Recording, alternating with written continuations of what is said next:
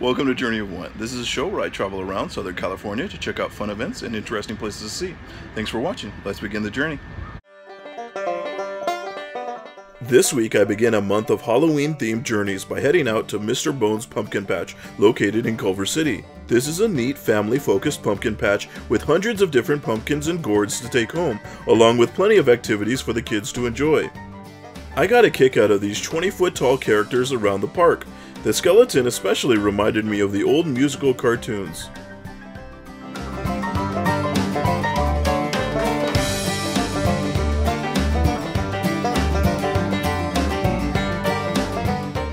Speaking of music, they have live music acts that perform throughout the day on this stage near the food trucks and eating areas so you can eat while listening. They also have these cool teepees set up if you want to get out of the sun, or one of a couple different bounce houses to jump in. If I'd been a bit smaller kid myself, I would have loved to have gone down these inflatable slides, or crawl around inside and through this kid-sized hay maze.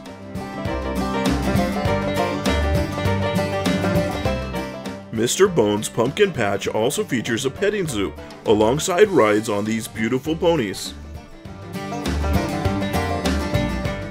But if real horses are a bit too much for you, there are a couple large wooden horses for you to ride instead.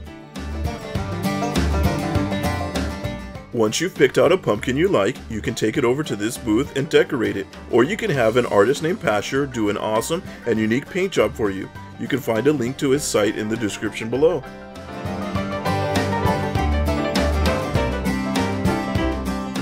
They have all kinds of pumpkins here, more than I've ever seen in my life in one spot.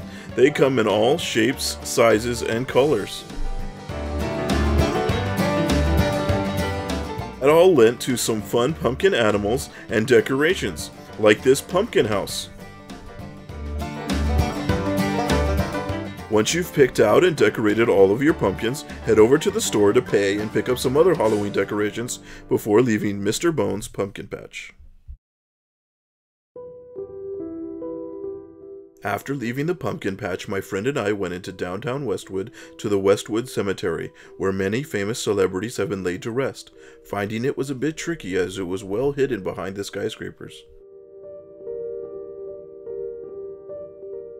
Once you find your way in, you'll be greeted by a small but very peaceful and beautiful cemetery.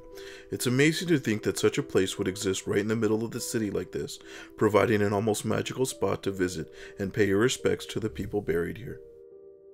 Down many of these serene walkways, you'll find the final resting places of many of Hollywood's greatest actors and actresses, as well as many other notables and non famous regular people.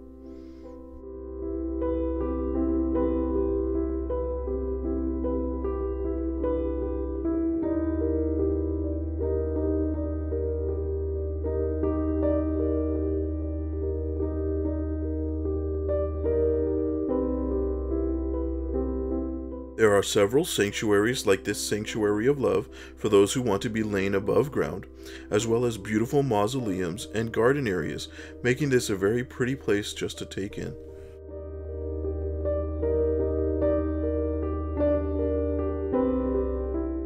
I personally love that many of the celebrities had a bit of a sense of humor about their resting places, many leaving funny quotes and inscriptions behind as one last joke.